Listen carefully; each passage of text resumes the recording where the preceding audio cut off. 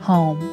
It's where our lives and love happen. Caregivers has built our reputation on helping people stay in the home they love longer, bringing independence and joy of life through a full array of home care services that fit your life your way.